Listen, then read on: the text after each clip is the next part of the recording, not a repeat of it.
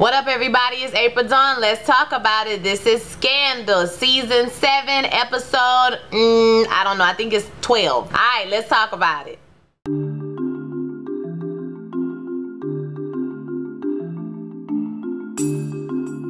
Alright, this episode was, mm, you know, I kind of feel like at this point we still having a little bit, you know, we don't really need this superfluous episode, but it ain't really superfluous. Shout out to Mariah Lynn. It's an episode that's kind of leading us up to this big finale. So now I can see that Scandal is about to give us this huge finale. They making Cyrus the ultimate bad guy. So I feel like Cyrus either gonna die or go to jail or something really serious is gonna happen to Cy because they went full bad guy. Let's go ahead and get into it. Cyrus is preparing for a speech that he's gonna give during the correspondence dinner. You know the one they do every year that where they crack jokes on each other. They basically roast each other. So he's getting ready for that. He gets a call from Millie to come into the office and that's canceled. He needs to go to Lisbon for a pirating summit, uh, like a web pirating summit. He's upset about this of course, but she tells him that Jake is gonna take his place because he wants to do this fantastic speech he was gonna do or whatever and so he's really pissed about it but Jake is gonna take his place and so she said go ahead and get yourself ready because that's where you going. He's going with David Rosen. So David and Allie are you know preparing for the day. Basically he's getting ready to go to the summit and he tells her that he has a reservation for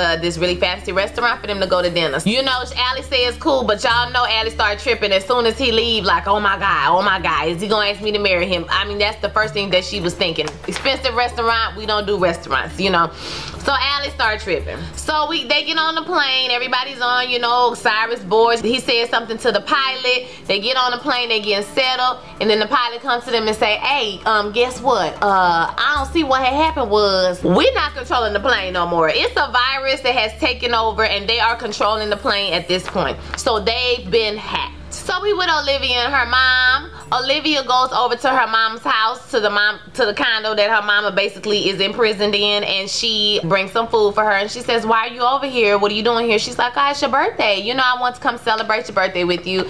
And she's like, "I can't eat all this food by myself." And she's like, "No, you're gonna, I'm gonna stay with you, basically." And she's like, "What? You you staying over here with me? Like, what's really going on?" So her mom is pretty receptive at the beginning. Hmm. That'll change. Ah, that'll change really quickly. Back at the White House, Millie is briefed with what's going on. They don't have any communication with the passengers inside, so they don't know if they held hostage, if, you know, if they just in there chilling, if it's like a physical person, but they know a virus has taken over the plane, um, basically has been introduced, and so, you know, they can't do anything about it right now. So on the plane, they get in the same briefing. They don't have any way to get in touch with anybody. Uh, the one reporter is videotaping it, and um, they telling her to stop, and she telling them she's still on the clock. So they make everybody turn in their phone, their laptops, everything because it, the um, virus was introduced through a laptop or a phone or some type of situation like this. So at this point, Cyrus' secretary started looking crazy and she pulled Cyrus to the side and was like, hey, I think I'm the one who put the virus on the plane because a couple of days ago, my laptop went missing and I didn't say nothing and the next day it was there. So, you know, I didn't say anything. And he was like, I really need you to think about who was in the office when your laptop came up missing. She said Jake. I don't even know if she said Jake, but it was implied that it was Jake. So right at that moment, the plane hit a little turbulence. Everybody fall out. When we come back, Cyrus tells David that the plane has been redirected and it's going towards DC. It's basically being used as a missile. So um, they need to get involved. They can't trust the White House he tells him about his secretary and they need to get QPA involved. They got out a way to get a signal to them. So they go to the tech woman that's down in the tech room, okay? And she tells them, you know, they get updates from the National Weather Service and, you know, sometime away they work out where they can get a signal to QPA and they send it out as a virus, but you know, they got the message and they said they on top of it. So QPA is hard at work on the case. So Millie is talking to Jake in the situation room and she wants to ground the plane. And Jake says the only decision you need to make at this time is to shoot the plane down. We can't allow that plane to crash into a major metropolitan area. Now Millie catches T and is like, Jake, now I know I'll be on your team or whatever, but don't tell me that you trying to really kill Cyrus like this. Like I don't have time for this. And he's like, no ma'am, I don't have anything to do with this. And she tell him, you know what? I don't want you in my situation room anymore. I don't want you to have nothing to do with this. You go to your office and I deal with you later because I ain't got time for this. So once again, Millie is being stupid. I mean, Cyrus, I'm gonna get to this in a minute. But Millie being stupid, once again, Millie stay losing. Um, QPA has, like I said, they got the message from Cyrus and David. They are hard working on the case. They have to break the virus. So, you know, they looking through the, you know, they trying to figure out what's going on with the virus. And Abby is begging to help. She wants to help. Millie has called Olivia at this point because, you know, like I said, them hoes can't breathe without Olivia. But Olivia ain't answering the phone. She with her mama. Millie even called Fitz at some point in the episode. She even called Fitz and Fitz was like, do you want to know what I would do? She said no. She hung up. I was kind of glad that she couldn't get in touch with Olivia because Olivia ass would have swooped in and solved the problem. It's time for Millie to stand on her own two feet. Y'all be talking all that cash money should not live without her. Do it, okay? Make us believe you can live without Olivia. So Olivia is still with her mom and you know they getting into a little talk and her mom is really like, cut the shit girl. Why you over here with this dry ass souffle? I mean her mama read her for filth. It's like her mama like beating up on her. I feel bad for Olivia, y'all. I felt bad for her at this point because I really feel like her mom and them, they just be like dogging her out just because they she there. They like a punching bag. Y'all act like Olivia chose her mama and daddy. Like you act like she was like, hey, can you have me? So anyway, her her mom is like, why you over here? You know, what do you want? I know you want something. And she's like, I just want to spend time with you because I love you. And she's like, if you love me, you would give me a suitcase full of money and a trip to Paris if you want to give me some real French food. I ain't got time for this bullshit, girl. I don't want to be up in here with you.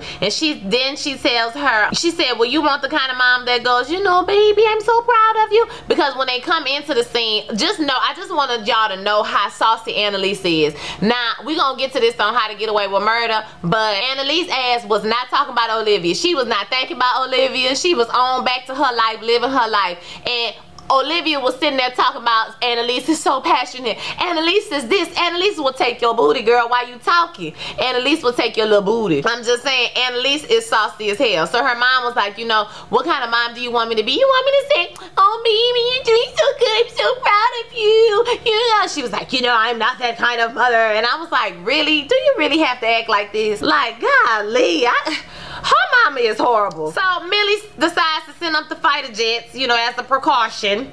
And when she sends up the fighter jets and they seeing this on the news that QPA, Abby start tripping again. She go into the other room. You know, she was the press secretary. She knows that, you know, when they send the fighter jets up that, you know, they preparing to shoot the plane down. And I didn't realize I want to be with David. And, you know, Huck, after he see her all upset, he like, he gasped. Like, I'm going to solve the problem, you know. I wonder what the hell going what happened that Huck at the end of this season. I, that's gonna be interesting to see how his story comes to a conclusion. So the journalist that was videotaping earlier, some kind of way she gets into the little tech room and then guilt trips the woman into like, you know, people deserve to know what's going on. I felt I saw a Wi-Fi signal. If you have a signal, please send it out. And so I guess she it worked or whatever. So Cyrus and them, they finding that, you know, they, they got the fighter jets in position. So he like, listen, you know, we don't have much time. They got the fighter jets in position. And then he goes to give this very presidential speech about how they're patriots and not many people get to serve their country. You know, even their duty right now might, might be, the soldiers' duty right now might be to kill everybody. So, you know, they are doing a service for their country, yada, yada. The whole time the journalist is streaming this on her phone.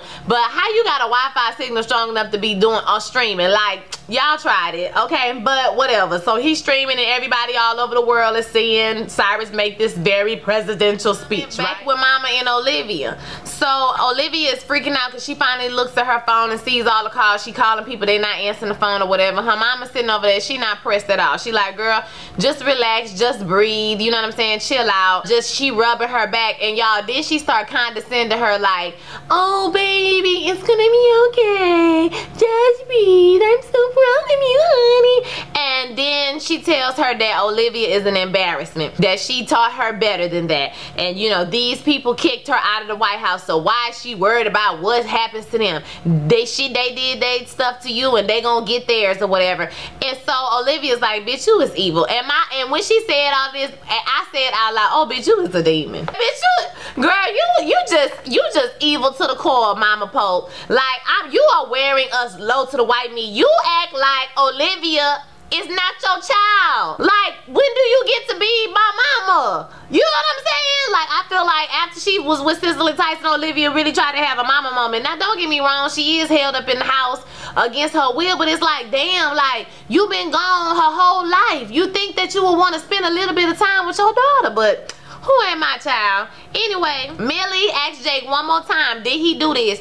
Jake said, listen, if I want to kill Cyrus, I could have gave him two pills. They gonna knock him out dead. You know, he done had a heart attack before. Nobody will question that. I'm not about to play in this big old spectacle and kill a whole bunch of innocent people to kill him. I don't got time for this shit. So, um, girl, it was not me, okay? It was not me. It wasn't me. And David and Cyrus are on the plane. They are preparing to die. They, you know, pull out some liquor. David pull out some Dramamine. And at this moment, you know, everything is coming to a culmination. You know, they, they about to me reach the limit, run out of ocean, you know, before they got to shoot the plane down. Um, at QPA, they trying to hack into the system. So all this is happening at one time. It was real dramatic, you know. Um, and it come down to the last second. But we see Abby at her house and the doorbell ring. And voila, David is there. So we know they made it out alive and everything is all good. And so at this same time, Olivia sends her mom a package and in the package is a nice coat the one that she said you know you get a coat like the one I um you know like the ones you wear or whatever and when she shaded her earlier and she said look in the box in the box it was some coordinates bank account all that shit. You can get on your flight to Paris. You can you know this is the money in a Swiss bank account. You can do whatever you want and mom and you're free. I read an article and it said that even though she thought she had won she really lost because there's nobody for you to antagonize with. Now you all alone. Like, I was sitting in my house. Now you played with Olivia. You fuck with Olivia. You kept talking shit to Olivia. You would not let that girl live. You wouldn't let her breathe and be your daughter. There's no time. You was a loving mother to this child, to this woman. And now she done completely turn her back on and now look at you. You looking stupid. Talking about something. My birthday really is on the 27th. Girl, bye. Okay? Bye, Mama Paul. Bye for Mama. Bye. We out. We over you. Shout out to calling me pink. Bye for mama, we over you. At this same time, or after this, Olivia goes to Cyrus's house and she pulls Cyrus' card. I'm not gonna lie, they had drew me in a little bit. I didn't realize it was Cyrus until about almost the end of the episode. But um, she goes to Cyrus and she has put together that Cyrus is the one who put this whole thing together to get himself more visibility. And he tell her that, you know, patience is not one of his virtues. And she like, what you talking about? What's your plan? What are you gonna do with Millie? You know, cause you're doing all this for seven years from now. Like, why you doing all this? And he was like, seven. She was like, well, you think she'll be out in four? And he was like, uh, like, bitch, she gonna be out before that because I'm a killer. Okay, so she like, she like, what you planning? What you planning? He's like, I'm not, you know, basically, I'm not gonna tell you, bitch. Don't worry about what I'm planning. I'm about to be the president. I'm about to take it all. So I think this is what's gonna bring Olivia back in the game. It's gonna be a big Cyrus takedown. And um, I'm here for it. We'll see what happens. Like I said, I could see where she going with it. Even though this episode was meh, I could have taken more Olivia. I could have had a whole episode with Olivia and her mama. Okay, Olivia mama is a demon. Her, at least her daddy love her. Like at least he showed that he loves her sometimes. But her mama is. Whoo child, I feel I know why Olivia is the way she is because her family is just terrible, girl. It's just terrible. So I want to hear what you guys think about the episode. Don't forget to like, comment, subscribe, and share this video with all your friends. I will holler at y'all next time. Have a blessed day. Peace.